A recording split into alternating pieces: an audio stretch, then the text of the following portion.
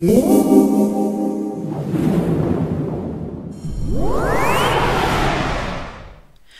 my name is Joshua, I'm from Barnsley College and today I'm going to show you how to analyse audio using Audacity. On the left here there's a drop down menu which changes what you can see here. At the moment we're looking at the frequency waveform.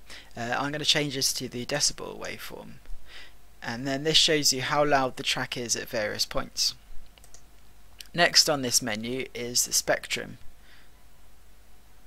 Now this shows you the frequencies that are present within the track. Uh, white means there is a lot of one particular frequency and blue means there are less.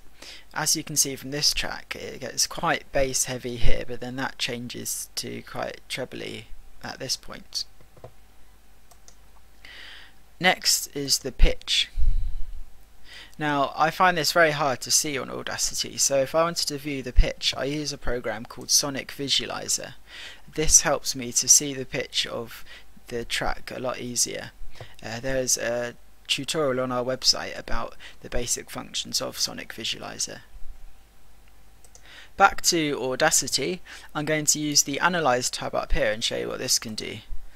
So I click on Analyze and Contrast. Now contrast helps you to contrast two different parts of your piece. So I'm going to select this bit and this quieter one here.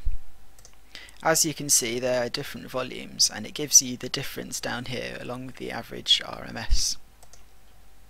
Next in the Analyze tab you can plot a spectrum.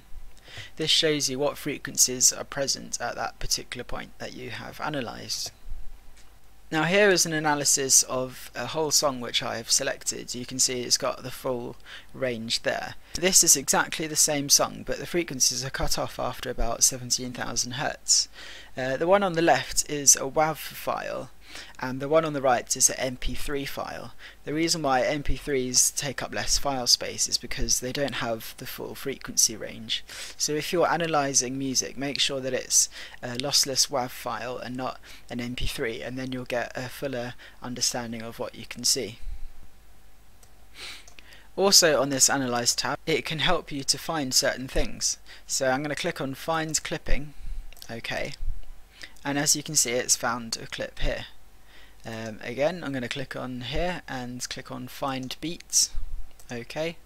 Then this selects every time it finds a hit point within your audio. Uh, you can also do it for labels and for finding silence and also for finding sound. I'll show you this one. Okay. And this shows you uh, where it detects a sound and it doesn't show where the silence is.